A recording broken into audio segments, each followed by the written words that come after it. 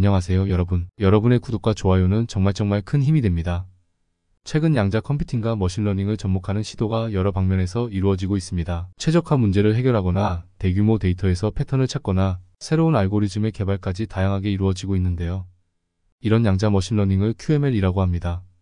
많이들 아시다시피 양자 컴퓨팅은 큐비트가 0과 1, 그리고 0과 1이 동시에 존재하는 상태로 존재할 수 있는데요. 있음과 없음 사이의 여러 가능성을 동시에 표현할 수 있다는 것을 의미하죠. 이런 여러 상태에 있을 수 있는 개념을 뜻하는 양자 중첩과 큐비트가 서로 연결되어서 한 큐비트의 변동이 다른 큐비트에게도 영향을 주는 양자 얽힘으로 인해 기존 컴퓨터보다 훨씬 더 많은 데이터를 동시에 처리할 수 있습니다. 이러한 특성은 머신러닝 알고리즘의 속도를 크게 향상시키는 효과를 가져오는데요. 이러한 이유로 양자는 머신러닝에 큰 발전을 가져옵니다. 그럼 아이온큐는 어떻게 양자와 머신러닝을 발전시키고 있을까요? 머신러닝은 많은 이미지를 머신러닝 모델에 노출시키고 그것을 바탕으로 학습을 시키는 이미지를 인식하게 하는데요.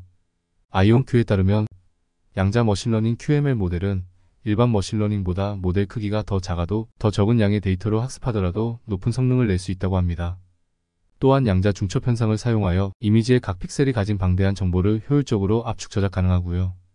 이미지마다 특정 색상이나 모양, 글씨 같은 여러 특징들을 가지고 있는데 양자 얽힘 현상을 이용해 이미지 내 다양한 요소들을 서로 엮어 숨겨진 상호가태 관계 및 패턴을 추출할 수 있어 전체 이미지가 어떻게 구성되는지 더 정확하게 파악이 가능합니다. 아이온큐는 최근 AI 업계가 직면한 문제점들인 학습 데이터 부족 및 모델 경량화 과제 등을 해결하는데 양자 머신러닝이 많은 도움이 될 수 있음을 어필하고 있는데요. 실제로 양자 시스템을 이용하여 이미지 인식 모델을 최적화하는 것이 굉장히 효율적이라고 합니다. 아이온큐가 현대와의 협업을 통해 양자 머신러닝을 자율주행 이미지 인식에 어떻게 활용하고 있는지 설명한 영상이 공개되었었는데요. 한번 같이 살펴보시죠.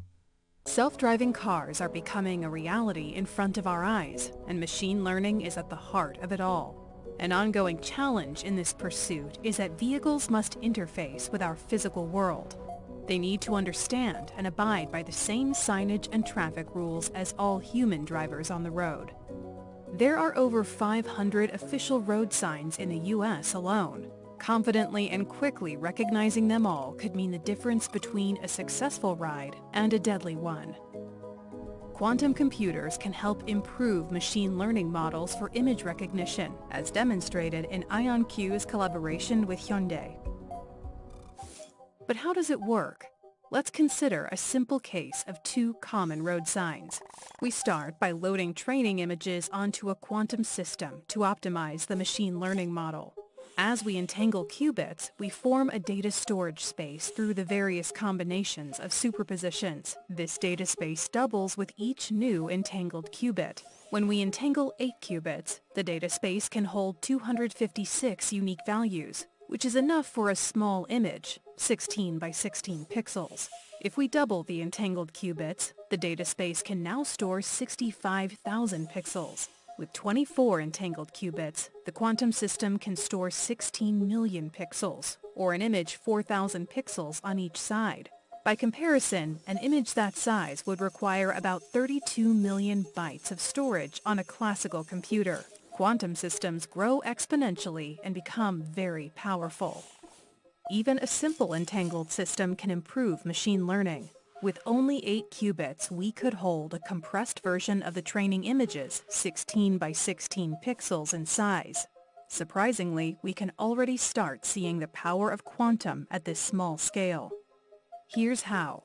Loading an image means simply copying the values of each grayscale pixel to its corresponding superposition spot.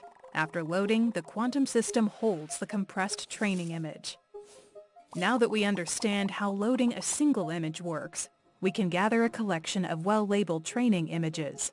The image recognition algorithm transforms each image using a quantum model that depends on a small set of input parameters. We begin the process by selecting random values as input parameters. By the end, the entire quantum system can be summed up by a single output value. But this value doesn't mean anything until we compare it to the labeled images. The training process requires the application of these input parameters across the entire training set of images. The algorithm loads each image separately, applies the transformation, and reads its output value. Initially, we expect these output values to seem random. Then the algorithm starts adjusting the input parameters, paying careful attention to the output values and looking for early correlation with the image labels as the input parameters are adjusted. Based on the results, after several hundred iterations, we now recognize one end of the output spectrum as a stop sign and the other as a no entry sign. Now we are confident that with these input parameters, the quantum model produces output values that distinguish between the two classes of images. This is the learning part in machine learning, but quantum requires far fewer parameters. This iterative algorithm is a hybrid process. Some of it is performed in quantum and some uses classical computing. The classical computing resources are used for data storage. Once the data and input parameters are provided, the quantum computer stores the data in quantum states, handles all of the parallel transformations, and produces the final output value. The classical side evaluates the output values, which closes the loop by selecting the input parameters for the next iteration. Our example demonstrates a few key advantages of quantum computing in image recognition using machine learning. Each new qubit doubles the size of the computational data space. We can use this expanded storage and computation space to increase the resolution of the training images or to maintain multiple copies of each image so the system can explore different structures and features that emerge with different transformations. And it does it all in parallel. Finally, quantum models can produce the same or superior results with far fewer input parameters, which could greatly reduce the resulting size of the model, making it far more efficient. IonQ expects that when we cross 40 high-performing qubits, this quantum algorithm will be able to explore image recognition transformations that are otherwise impractical using classical computing. When we reach 64 qubits, this quantum algorithm is expected to produce superior results to classical machine learning algorithms using classical solutions. Future image recognition applications will need to scale up and be extremely reliable yet simplified. Quantum machine learning is one of the most promising paths for achieving this goal. Not only can it help self-driving cars recognize signs, but it has the potential to advance a vast range of industries. Quantum machine learning can help with everything from adding automation to manufacturing and agriculture, improving healthcare outcomes and discoveries, introducing retail and logistics efficiencies, identifying security and defense threats, and making transportation safer. 이와 같이 양자 머신러닝은 기존의 시스템보다 훨씬 더 풍부한 정보를 큐비트에 담을 수 있어서 같은 컴퓨팅 자원으로도 더 많은 작업 수행이 가능하고요. 보다 다차원적인 데이터 처리도 가능합니다. 또한 양자 얽힘 상태를 활용하면 서로 다른 데이터 간의 복잡한 관계를 더욱 깊이 이해할 수 있는데요. 예를 들어 전기차 배터리 관련하여 수명, 충전시간, 주행거리와 같은 다양한 요소들 간의 복잡한 상호작용도 가능하게 해서 특히 4차 산업혁명의 중요 기술력이 될 것입니다. 여러분은 어떻게 생각하시나요?